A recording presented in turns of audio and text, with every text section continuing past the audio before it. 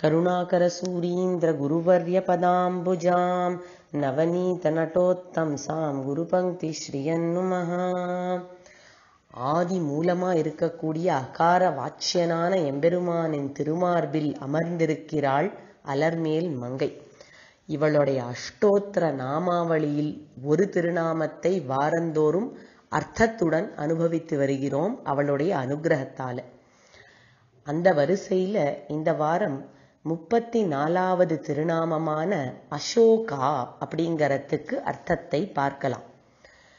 நம் போன்ற சம்சாரிகளெல்லாம் கரையேறணும் அப்படிங்கறதுக்காக பிராட்டி லக்ஷ்மி தேவி பல காரியங்கள் பண்ணுகிறாள்.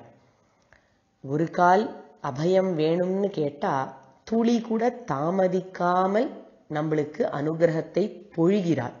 இதனால இவளுக்கு அனகான திருநாமம் வந்ததுன்னு பார்த்தோம்.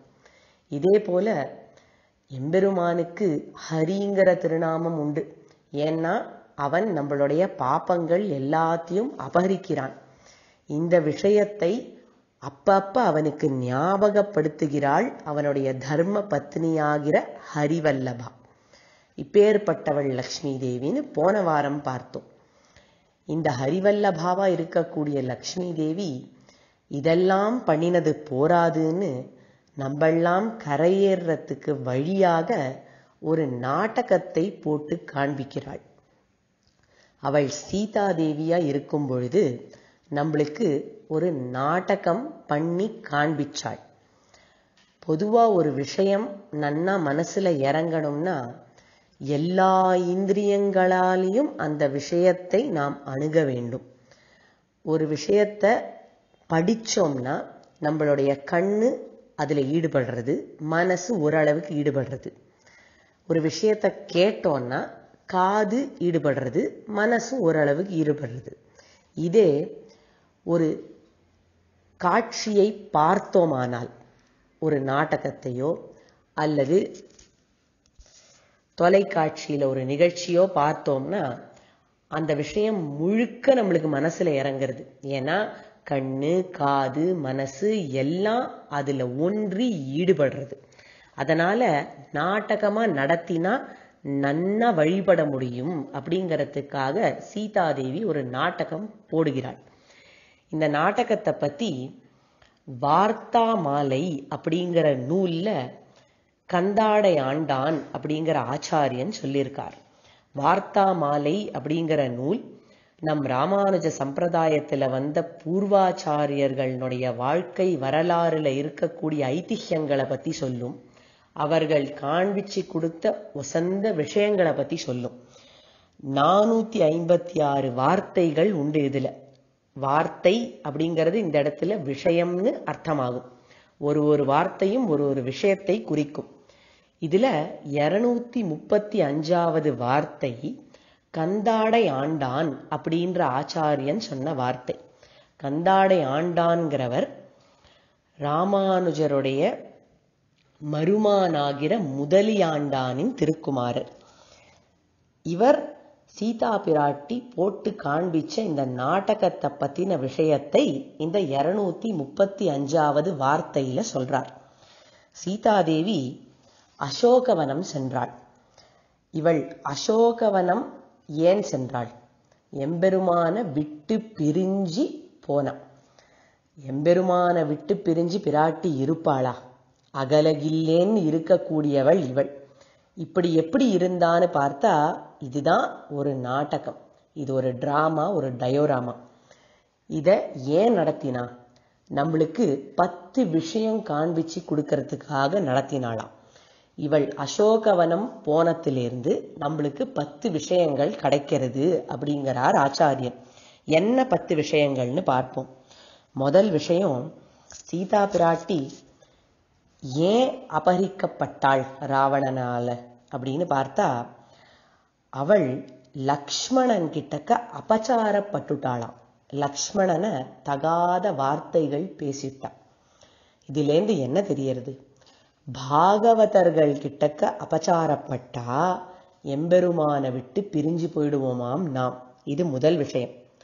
ரெண்டாவது விஷயம் வால்மீகி ராமாயணம் சொல்றது ராவணன் சீதையை தொட்டு தூக்கிண்டு போனான் அப்படின்னு. இது என்ன காண்பிச்சு கொடுக்கறதுன்னு பார்த்தா இந்த தேகாபிமானம் நம்மளுக்கு இருந்தா இந்த உடலினுடைய ஸ்பர்ஷம் நம்மளுக்கு இருந்துட்டு இருந்தா நம்ம எம்பெருமான விட்டு பிரிஞ்சு போயிடுவோமா? இந்த தேகமே ஆத்மா அப்படிங்கிற அபிமானம் அல்லது தேகம் ஸ்வதந்திரமானது அப்படிங்கிற ஒரு விபரீதமான ஞானம் இதெல்லாம் இருந்தா தேகத்துல அபிமானம் இருந்தா எம்பெருமான நம்ம விட்டு பிரிஞ்சு போவோமா? இது ரெண்டாவது விஷயம். மூன்றாவது விஷயம் சீதாதேவி அசோகவனத்தில் இருக்கும் பொழுது ராட்சசிகளால் சூழப்பட்டு இருந்தா அதே போல இந்த சம்சாரி சம்சாரத்துல இருக்கும் பொழுது தாயே தந்தை என்னும் தாரமே கிளை மக்கள் என்னும்னு சொல்லி பலவித உறவுகளால சூழப்பட்டு இருக்கிறான் இந்த உறவுகளெல்லாம் பகவத் விஷயத்திலேருந்து நம்மள தூர கொண்டு போறது நம்மளுக்கு உபதிரவமாக இருக்கு. எப்படி ராட்சசிகள்லாம் சீதா பிராட்டிக்கு உபதிரவமாக இருந்தாலோ அதே போல இப்போ நான்காவது விஷயம். சீதா பிராட்டி மாரீச்சனாகிற மாயா மிருகத்துக்கு பின்னாடி போகணும்னு நினைச்சா அதனால எம்பெருமானை விட்டு பிரிஞ்சு வந்தா. அதே போல இந்த சம்சாரமாகிற மாயையில விஷய பிராவண்யமான விஷயங்கள்ல நம்ம ஈடுபட்டோம்னா எம்பெருமான் கிட்டேருந்து தூர போவோமாம். அதாவது நம்மளுக்கு பத்து இந்திரியங்கள் உண்டு. அஞ்சு கர்மேந்திரியங்கள் அஞ்சு ஞானேந்திரியங்கள். இந்த இந்திரியங்களுக்கெல்லாம் தலைவனான மனசாகிற இந்திரியம்.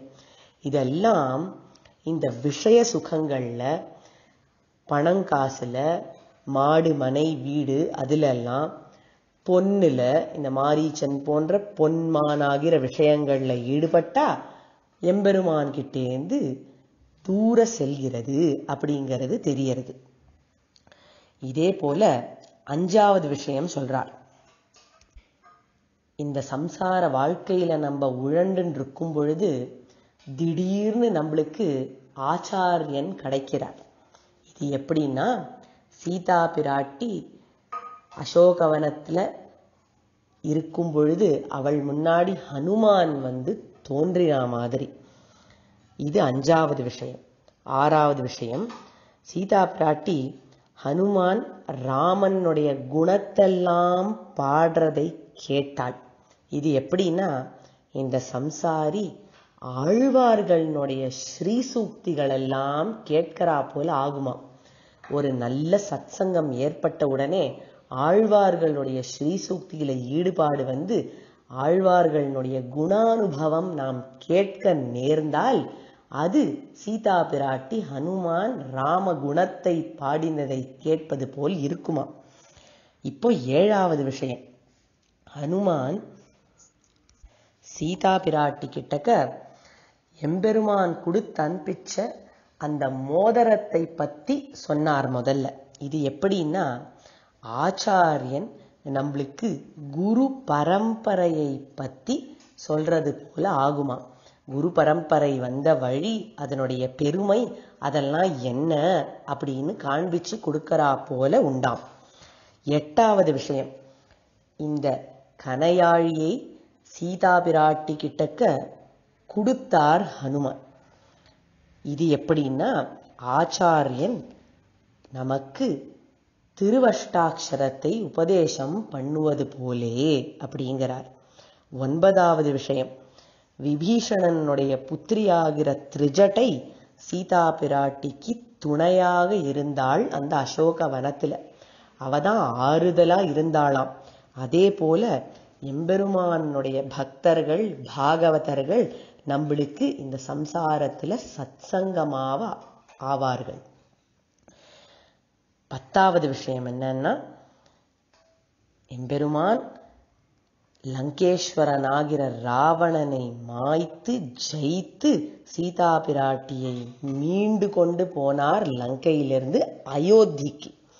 அதே போல இந்த சம்சாரமாகிற துக்கத்திலேந்து நம்மளை எல்லாம் தூக்கி காப்பாத்தி நம்மளுடைய பாப்பங்கள் எல்லாம் மாய்த்து எம்பெருமான் அந்த ஸ்ரீ வைகுண்டம்னு சொல்லக்கூடிய திருவயோத்திக்கு நம்மளை அழைத்து செல்வார்.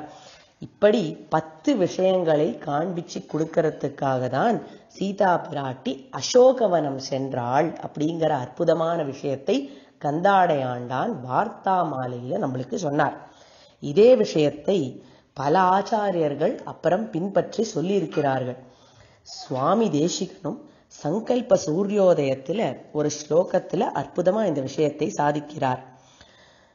दर्पोदग्रदशेन्द्रियाननमनो नक्तञ्चराधिष्ठिते देहेऽस्मिन् भवसिन्धुना परिवृते दीनां दशामस्थितः अद्यत्वे हनुमत्समेन गुरुणा प्रख्यापितार्थः पुमान् लङ्कारुविदेहराजतनया न्यायेन लालप्यते அசோகவனத்துல சீதா பிராட்டி இருந்துண்டு இப்படி நாடகத்தை நம்மளுக்காக பண்ணி கொடுத்ததுனாலேயே அவள் நம்மளுடைய சோகங்கள் எல்லாத்தையும் தீர்க்கிறாள்.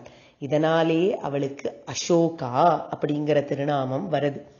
இது மட்டும் இல்ல லக்ஷ்மி தேவிக்கு ரொம்ப வசந்த விஷயம் அம்சே பண்ணணும் அப்படின்னு நினைச்சோம்னா எதை அம்சே பண்ணணும் அப்படின்னு பெரியவர்கள்லாம் சொல்றா. வேதமே சொல்றது லக்ஷ்மி தேவிக்கு பயத்தம்பருப்புல ஒரு பிரசாதம் செஞ்சு அதை அம்சே பண்ணினா ரொம்ப வசத்தியாம் அதுவும் துவாதசி அன்னைக்கு பண்ணினா ரொம்ப ரொம்ப வசத்தியாம் பயத்தம்பருப்பு லக்ஷ்மி தேவிக்கு ரொம்ப உகந்தது. இந்த பயத்தம்பருப்புல வெல்லத்தை சேர்த்து பாலை குத்தி கோதுமையும் சேர்த்து ஒரு அல்வா பண்ணுவா. இதுக்கு அசோகா அல்வா அப்படின்னு பேரு. இந்த அசோகா ஹல்வா பிராட்டிக்கு நைவேத்தியம் பண்ணுறதுக்கு ரொம்ப ரொம்ப உகந்ததாம். ஏன்னா இவளே அசோகா தானே எல்லாருடைய சோகத்தையும் போக்கக்கூடிய இந்த அசோகாவாகிற பிராட்டிக்கு ரொம்ப உகந்தது அசோகா ஹல்வா அப்படிங்கிறதுனால லக்ஷ்மி தேவியை வழிபடும் பொழுது அசோகா ஹல்வாவை பண்ணி வழிபடணும் அப்படிங்கிறது பெரியவர்களுடைய நிர்வாகம். இது மட்டும் இல்லை இந்த பயத்தம்பருப்பில் செய்யக்கூடிய எந்த விஷயமும் பிராட்டிக்கு உகந்தது அப்படிங்கறதுனால தான் மார்கழி மாதம் முழுக்க பிராட்டியினுடைய மாதம் அந்த மாதத்தில் பயத்தம்பருப்பில் செய்யக்கூடிய பொங்கலை நாம் அம்சே பண்ணுகிறோம் பிராட்டிக்கு. இப்பேற்பட்ட அசோகா அல்வாவை உகக்கிற நம்மளுடைய சோகங்களை போக்கக்கூடிய அசோகாவாகிற பிராட்டிக்கு அடியனுடைய ஆச்சாரியன் ஸ்ரீ கருணாகர மகாதேசிகன் சமர்ப்பிச்ச நிருக்தி ஸ்லோகமானது பிரபன்னச்சர்யா பரிதர்சனாய योशोकदावो वसतिं दधार तस्मादशोका परिकीर्तिता श्रीः फल्यादशोकत्वमदो जपेन பக்தியுடன் அசோகாங்கிற திருநாமத்தை ஜபித்தால் இந்த சம்சார சோகங்கள்லேருந்து நம்ம கண்டிப்பா நிவிருத்தி அடைவோம் அப்படிங்கிற நம்பிக்கையை வைத்துக்கொண்டு ஜபிப்போம். வாங்கள். அசோகாயை நமஹா.